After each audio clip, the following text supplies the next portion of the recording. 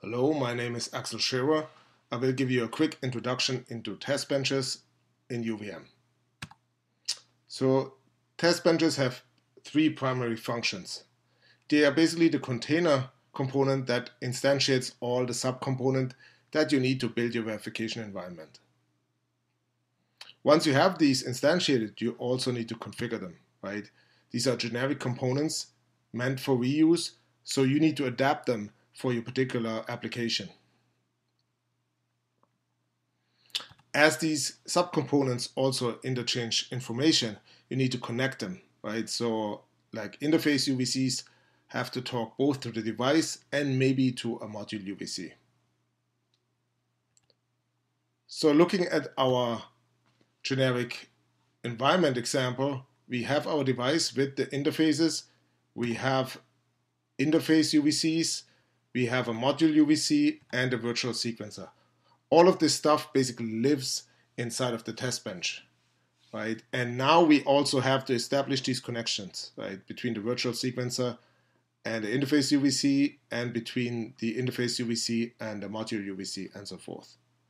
And we configure these components according to our needs for our particular application. Okay, so let's look at some code. Here we have a UART controller that we've looked at before, right? And you can see all its content, right? It has, for example, here a APB UVC, a UART UVC, a module UVC, and a virtual sequencer, and some other auxiliary stuff. So you can see how it contains basically everything you need to run this particular test. Now, a UVM test bench is nothing special. It just derives from UVM env, just like a UVC, right? So it's just uh, basically a container class. And in it, you can see now again these particular subcomponents that we need, uh, the three UVCs for interface, APB, interface UART, and for the module UART controller.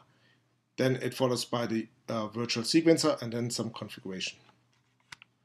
So we have all this stuff and then we build the environment later on in one of the tasks uh, functions and then we configure this whole thing and hook it up, right?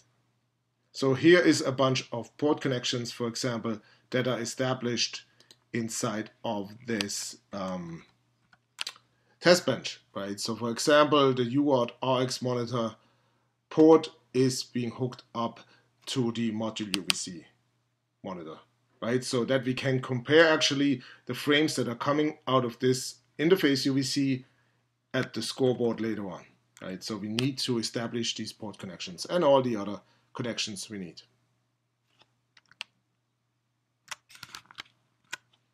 So that's basically it. Again, a, a test bench is just a container class that instantiates the subcomponents, configures them, and connects them. The test then comes along and uses this for its needs.